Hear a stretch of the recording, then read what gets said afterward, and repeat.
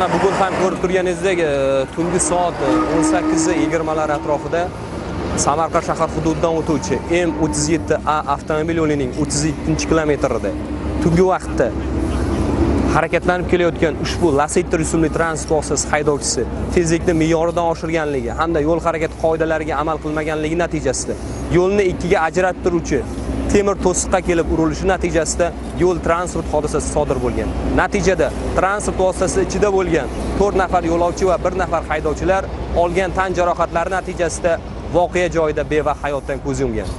Ushbu holat yuzasidan o'zbekiston respublikasi jinoyat kodeksining 266 moddasi 3 qismi bilan jinoyat ishi qo'zg'atilib dastlabki tergov harakatlari olib borilmoqda. Ko'rib turganingizdek kunduzi hamda kechasi vaqtlarda samarqand viloyati ichki ishlar boshqarmasi jamoat xavfsizligi xizmati yo'l harakati xavfsizligi boshqarmasi xodimlari tomonidan olib borilayotgan targ'ibot tashviqot hamda reyd tadbirlariga qaramasdan ayrim haydovchilarimiz tomonidan tezlikni me'yoridan oshirib shoshma shosharlik natijasida mana shunaqa odam o'limi bilan bog'liq noxush holatlar yuzaga kelmoqda. Barcha haydovchilardan shuni so'rab qolamizki tungi vaqtlarda transport vositasini boshqarganda yo'l harakati qoidalariga amal qilib charchoqlik holatlari yuzaga kelganda yo'lni yorug' joylarida to'xtab ozgina dam olib undan so'ng transport vositasini boshqarishlarini o'zi va o'zgalar hayotiga befarq bo'lmagan holda yo'l harakati qoidalariga amal qilgan holda